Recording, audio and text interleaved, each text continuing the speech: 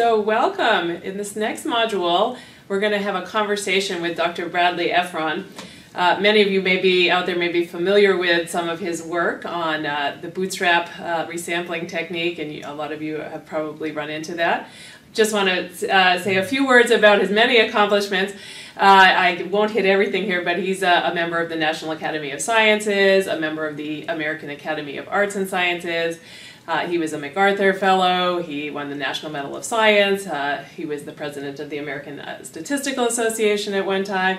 He, uh, in addition to all of his uh, scientific accomplishments, is extremely well spoken. I've uh, interviewed him before for journalistic pieces, and he is the founding editor and editor in chief of, in, of the Annals of Applied Statistics. And so we're really privileged to have him here today to get to get some advice from the the editing and publishing side of things. I'm glad you didn't say the horse's mouth. usual. So uh, I'm just going to start by asking, uh, besides good science, which is obvious we need in our papers, what key elements are journal editors looking for when you get a paper in?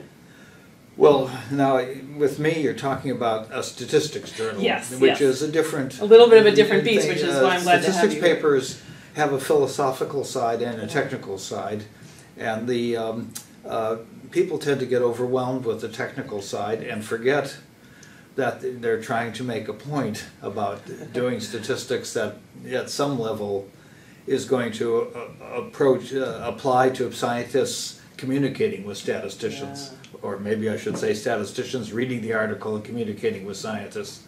So uh, it's an uh, it's an essay in communication and if it's not enough to be published you want to be read also. And so if you want to be read, uh, make the paper pleasant to read. So it's newspaper writers are very good at this. The the uh, first paragraph or the first line says what the story is going to be about. The first paragraph says it again in a somewhat greater extension.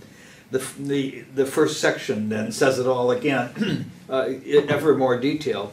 Uh, and the, um, the, a good scientific paper should make it clear to the uh, reasonably good reader uh, what what the, is going to be said. Um, a paper that's going to be read should have some element of surprise in it.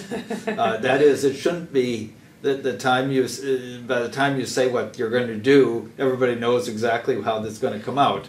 But you you should make it easy for the reader to get into uh, into the subject matter. In particular, if you have an example that motivated you, put it up front. Don't hide it in the back after uh, the person has worked his way through a, a, lot of lemmas and theorems and bad notation. Um, so uh, editors uh, and referees uh, have to read the paper uh, and making it easier to read the paper uh, vastly increases your chances of having a success. Oh, great, great. At every level. That, that's great to, to hear. That's a lot of what we've been talking about in this course. Yeah. And uh, what do you think is the number one mistake that scientists, mathematicians, statisticians make when submitting a paper for publication? Well, I, I run an applied statistics yeah. journal right now, and I turn down a certain number of papers the first minute because they aren't about applications. Mm-hmm. And the people love to write about theory and methodology because that's an easy thing to do. Applications are harder. So for my journal, a mistake is to is to send it to the wrong journal. Yeah, yeah. and uh, uh, if you want to make a, a point about something, choose the right journal to, to submit to. And and a journal is a magazine, and people get the magazine and read it for interest. So it should be interesting. And uh, trying to avoid heavy notation and things that slow readers down right at the beginning. Uh, lots of definitions are bad right at the beginning. Uh, you should clearly say what you're going to do, and it should be clear. The abstract and the first introduction are crucial. Uh, that's what uh, editors mainly look at usually, uh, is the beginning of the paper, and then they farm it out to associate editors or referees. So the, pay a lot of attention to the very beginning. Mm, great. And you've said a few things already, but what other tips can you give to authors to increase their chances of getting published? Uh, good graphics helps a lot in our field, yeah. and an attractive uh, format. Uh, uh and I avoid uh, in my own writing, which is far from perfect, uh, I avoid masses of equations or masses of definitions. I don't mind using bullet points to set things off quickly. Um, I, uh, you, you, you can easily kill yourself by uh, messing around at the beginning before uh, the, uh, some speakers in talks uh, spend an awful lot of time at the beginning not getting anywhere, and they've lost. The, the, the best hook you have is right at the beginning, and so uh, uh, think about that. Uh, uh, style isn't terribly necessary. Um, uh, Einstein said, "I, I leave uh, uh, style to my tailor," but a, a pleasant reading style helps a lot, and clunky English hurts. Yeah. Uh, it, every time you, you you have a sentence that's sort of hard to decode, you've hurt the reader, and they'll stop pretty soon. Yeah, And yeah. the reader might be the referee. Good, yeah. And so I think you've hit upon this a little bit already about writing style. And one of the questions that frequently comes up in my course, has come up in this course uh, that I'm teaching now, is students say to me, well, you know, that's not the way the scientific literature is written, and uh, they, you know, it, it's it's written in this style, and if I don't copy the very verbose style that's out there, I'm somehow not going to uh, be a member of the club, and I'm going to be rejected, and um, I might dumb down my science, and so they're very afraid to write in a more clear style. So can you help alleviate that fear a little bit? Uh, it's it's hard to dumb down more than uh, it's it, most people don't know as much about the thing you're you're talking about as you do. So dumbing it down is is a good thing. That's what you're supposed to do, uh, especially at the beginning of the paper. If you uh, you you're not going to impress anybody with fancy uh, technical material. Everybody's seen that, uh, or maybe three people in the world will be impressed, but you're not trying to get to those three people usually. The um, uh, I, I would one advice I'd have is go read uh, the greats, uh, people like Neyman in our field or Hotelling, wonderful writers, and you can see how good they are at getting to the point and uh, and uh, not jumping around it and not trying to be fancy. Yeah. So don't be fancy. Good. Dumbing down's not such a bad idea. And uh, what advice would you have for first-time authors? A lot of the classes in their first uh, paper submissions. Um, I, I'm always grateful when I get a submission that says this this is my first paper. I'm a graduate student. This is my early try. I, I give special attention to those papers, and I think most referees do. And so it's okay to call it out when you're Yes, submitting the paper yes, in a cover definitely. letter. Yeah. Uh, and that, that excuses certain mistakes. Uh, you can easily believe that a first-time author might put in too much detail or uh, Yeah. uh, too much stuff that their thesis advisor thought was interesting or Right, something okay. like that. Uh, uh, so I'm definitely easier on um, first-time authors. We want them, you know, Yeah. it's fresh. Yeah. The the trouble with most journals is they're dull, and you want a fresh point of view, and you want fresh writing, and you want fresh ideas most of all, of course. Yeah, good. And uh, do you have any tips for, let's say that the paper comes in and you um, reject it, but you give the author the chance to resubmit with major revisions. Are there some tips at that point in the process that you can give my class? Well, we have a uh, most journals, I think, have a category of. Um, uh, we have various categories. There's Yeah. withdrawn. If I don't, if I don't think a paper is impress, uh, appropriate, I'll just withdraw it that Right, very right. first minute. Uh, then there's uh, uh, rejected flat Yeah. out. But rejected with resubmission is a dangerous one for both the referee and the author.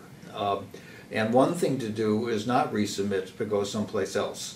Uh, but if you do resubmit, and uh, you, you, you can usually, if you press hard enough, you very often can get published Yeah. again.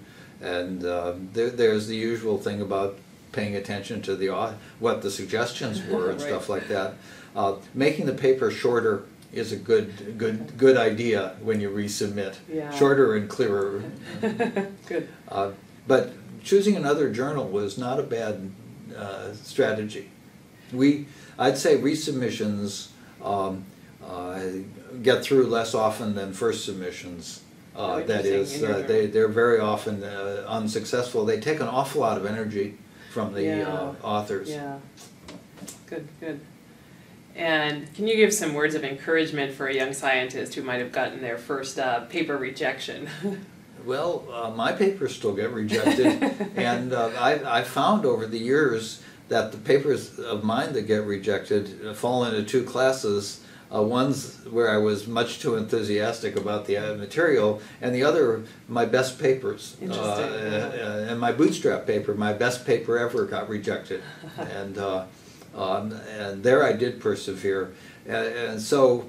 Um, the, the system is far from uh, perfect, and very often uh, fresh ideas arouse the ire of Mm, yes. referees who, uh, uh, who uh, are tied to the old ideas. It's an editor's job to try and spot such cases and uh, persevere. Uh, there, there are too many papers, so people are always looking for reasons to reject Sure. papers. Uh, and I'm always worried, uh, especially if I see a paper that arouses a lot of hostility in the reviews. I, that's sometimes a clue it's in my second class of brilliant papers that are annoying the readers because of fresh ideas. So anyway, don't take it too seriously. Pa- Papers get rejected all the time, good. and doesn't mean that you had a bad idea. Yeah, good, good. Um, and you know the publication process itself is undergoing a lot of changes right now. What uh, kinds of changes do you envision are going to be happening in the next decade?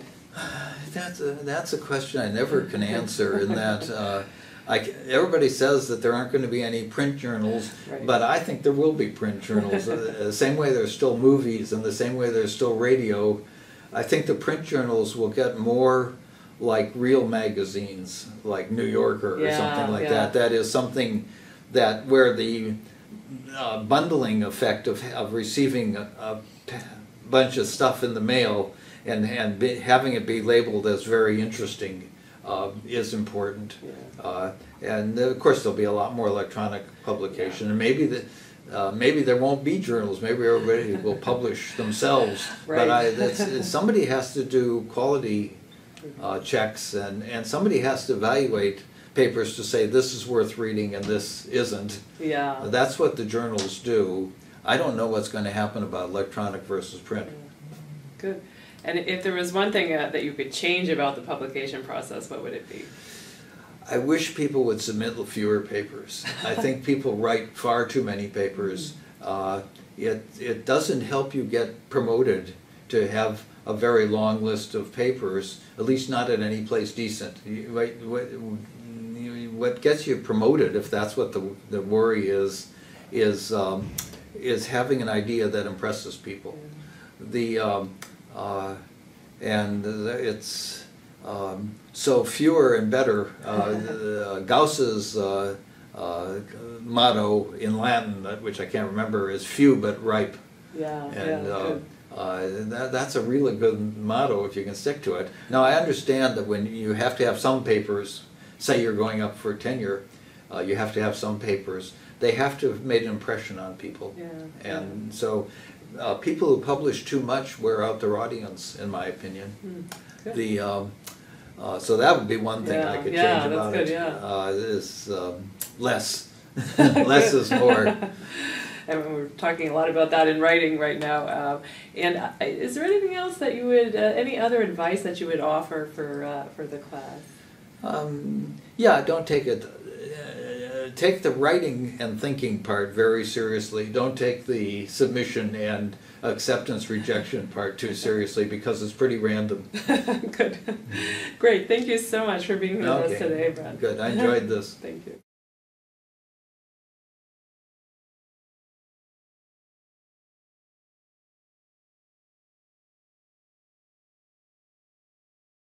The preceding program is copyrighted by the Board of Trustees of the Leland Stanford Junior University. Please visit us at med.stanford.edu.